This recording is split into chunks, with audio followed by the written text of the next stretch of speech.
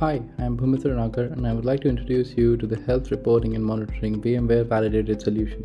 The Health Reporting and Monitoring for VMware Cloud Foundation Validated Solution provides guidance on monitoring the operational state of your VMware Cloud Foundation environment through ad hoc reporting or through custom dashboards, alerts, and notifications. The custom dashboards are intended to serve as an extension to the native vRealize operations dashboards and dashboards that are enabled by using the management packs.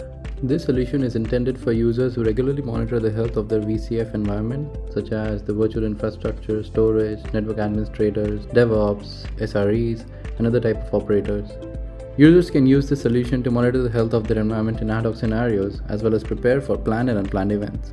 There are three main components for the health reporting and monitoring solution the Python module for health monitoring and vRealize operations, the PowerShell module for VMware Cloud Foundation reporting, and the host virtual machine, on which both of these modules are installed. Implementing the health reporting and monitoring for VMware Cloud Foundation's validated solution includes the deployment and configuration of host virtual machine in the management domain of your VMware Cloud Foundation instance. To get you started in a non-production environment, we have built a sample Photon OS appliance, which we call the host virtual machine. This comes pre-installed with dependencies to run the reporting and the Python module. After you deploy the host virtual machine, you install the PowerShell module for VMware Cloud Foundation reporting. Then you install and configure the Python module for VMware Cloud Foundation health monitoring in vRealize operations. You do this by following the solution guide. Depending on the OS of your host virtual machine, you can follow the procedures for either Photon OS or Windows Server.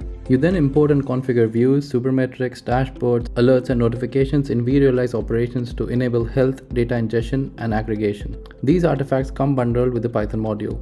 When we run the data ingestion Python script, it gathers data from SOS utility running from SDDC Manager and using the PowerShell commandlets from VMware Cloud Foundation reporting module. This data is then sent to VROps as custom metrics, which is then displayed on dashboard.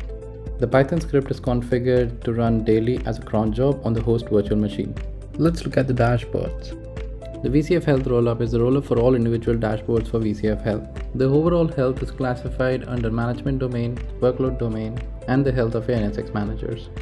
If any of the items is red, you can drill down to the detail at a granular level and look at what component of the health is reporting as a red status.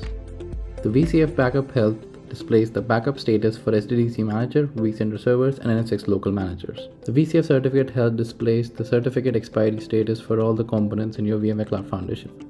The VCF Compute Health dashboard displays ESXi health including host licenses, disk storage, disk partitions, core dumps, and overall health status. It also shows the overall health status of your vCenter server instances. The VCF Connectivity Health dashboard displays connectivity health which verifies the connection between SDDC Manager and the underlying components of VMware Cloud Foundation. It includes ping, SSH connectivity, API connectivity health checks for SDDC components. The VCF DNS Health displays the forward and reverse DNS health summary. The VCF hardware compatibility dashboard displays the data from the host compatibility check which validates the ESXi host and vSAN devices. The VCF networking health dashboard displays the health of your local NSX managers, edge clusters, edge nodes, transport nodes, tunnels, and tier 0 gateway BGP connections. The VCF NTP health displays the NTP health which verifies the components have either time synchronized with the NTP server used by the SDDC manager. It also ensures that the hardware and the software timestamp of ESXi host are within 5 minutes of your SDDC manager plans. The VCF password health displays the password expiry status across your VMware Cloud Foundation instance. The VCF SDDC Manager and vCenter Services Health dashboards displays the health for services running within the SDDC Manager and the vCenter server. The VCF Snapshot Health displays disk capacity health for SDDC Manager, vCenter server, ESXi host, and data stores. The VCF Storage Health dashboard displays disk capacity health for SDDC Manager, vCenter Server, ESXi host, and data stores. The VCF vSAN Health displays the vSAN Health status across ESXi host and vSphere clusters. If the value for a metric falls below the threshold value, then an alert is raised. The alert will have details on how to remediate the issue.